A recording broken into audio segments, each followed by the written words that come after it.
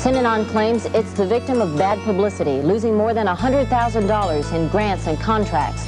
Fewer addicts are being sent there. Parents are disowning their children who live there. Some filing lawsuits, charging brainwashing and torture. And a grand jury is investigating charges of child abuse. And I talked with former residents who for the first time are speaking out about Synanon. It was founded 19 years ago by a man named Chuck Dederich.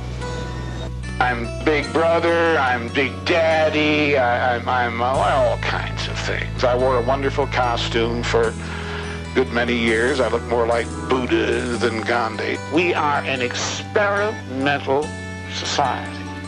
I don't know how this is going to come out. I really don't. If I knew how it was going to come out, I wouldn't do it. He is the driving force of Synanon a recovered alcoholic who created a no drugs, no alcohol, no violence society for drug addicts and alcoholics who just drifted in or were sent there by parole and probation officers. They start new lives, learning trades, from mechanics to working for Synanon's business enterprises. Synanon's assets, $33 million. In recent years, Synanon began calling itself a religion one gesture of that commitment came three years ago when the women joined the men and shaved their heads. Dederich was surrounded by people who were only yes men, treated him as a king. He now sat on an actual throne, but now he's being made into a god, if you make someone into a god, you give him godly powers, he will become a god, and Dederich became God. On May 23rd, California Health Department inspectors entered Synanon's premises in Marin County with a warrant to investigate reports of child abuse. If they want to come on our property, we will surround them, uh, each one of them, with 10 guys twice their size within one foot of them, and say, all right, inspect, punk. Some people inside Synanon found themselves defined as enemies rather than friends and were faced with the problem of getting out.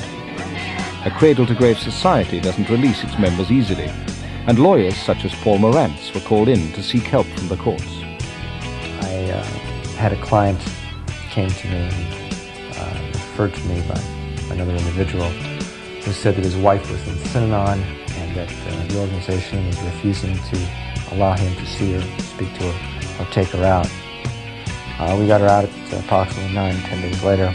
I think that any organization like Synanon, which convinces people that live there that it is such a superior way to live, that it is the only way to live, and that that causes people to do anything that the organization wants them to do. And I think that's very dangerous. During the past three years, the number of violent incidents involving outsiders who cross Synanon's path has increased sharply. I don't know uh, what action they might take against the persons of the people responsible, uh, their wives, their children. I just don't know. I, uh, and I have no way of being responding. That came to a head when attorney Paul Morantz was almost killed by a rattlesnake placed in his mailbox. Chuck Dederich and two other members were convicted of conspiracy to commit murder. Morantz was bitten by a rattlesnake that had been put in his mailbox at a Pacific Palisades home. Two members of Synanon, the controversial drug rehabilitation group, have been arrested. He's fearful another attempt might be made, another attempt to kill him. His complete recovery from the rattlesnake bite he received last week will probably take several weeks. Two Synanon members will be arraigned later this week on charges of putting the snake in the mailbox at Morantz's home. As he was leaving the hospital, Morantz was asked about the weekend break-in at his law office. It could be many things. It could be a coincidence. Uh, it could be another cult group. Uh, if it was not a coincidence, I would actually suspect another cult group more than Synanon because there was news broadcasts saying that uh, I was investigating all cults and uh, that uh, I was learning secrets of brainwashing. Police now say they do not think the break-in is related to the rattlesnake attack. They say it appears to have been a common burglary. One of the men arrested in connection with the snake attack is going to be arraigned tomorrow. 28-year-old Joseph Musico. He's being held on $50,000 bond. Musico and 23-year-old Lance Kenton arrested last week. Kenton is going to be arraigned on Friday. The New York Post tonight reports that Synanon member Joseph Musico, who is charged in the rattlesnake attack against attorney Paul Morantz, once served in Vietnam. Musico was charged today with conspiracy to commit murder and two other counts of assault in connection with the rattlesnake incident. He's a former heroin addict and was an Army military police officer in Vietnam. He's being held on $50,000 bail. The other suspect, Lance Kenton, is free on bail. Identical charges are expected to be filed against him on Friday. 20-year-old son of band leader Stan Kenton pleaded innocent in charges of conspiracy and assault with a deadly weapon. Kenton and another member of the drug center Synanon are accused of plotting to kill Morantz, possibly because he won a judgment against Synanon. A preliminary hearing has been set for next month. Till then, Kenton will remain free on $25,000 bail. The grand jury also referred to the number of reports it had received about child abuse inside Synanon. An alarming number of parents have to deal with the trauma of losing a child to a cult. Joy Butler's 17.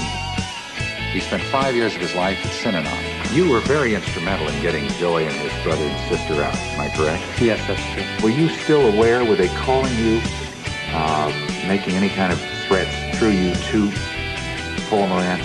I mean, were you aware that anybody was out to get him?